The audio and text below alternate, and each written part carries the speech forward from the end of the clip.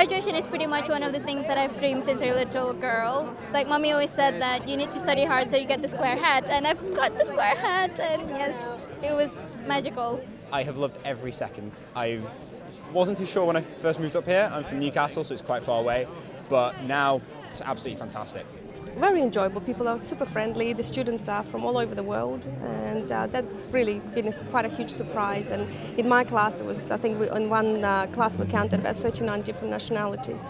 So I think that's what really sums up Aberdeen. Yeah, I've really enjoyed it. I'm going to miss a lot of people and sad to go, but excited as well. My parents schooled here. My dad finished his PhD in 1969 from here and my mother um, studied medicine University of Aberdeen also in 1970. So this is the second generation of I mean the Tassie family, and hopefully one of them may come here. So it's been a very good experience. And i have enjoyed it. All the, all the facilities are really good, like the new library and the gym and all that, and the new aquatic centre and stuff has been really good. So yeah, it's good that they're seeing like investing a lot of money in it. really good.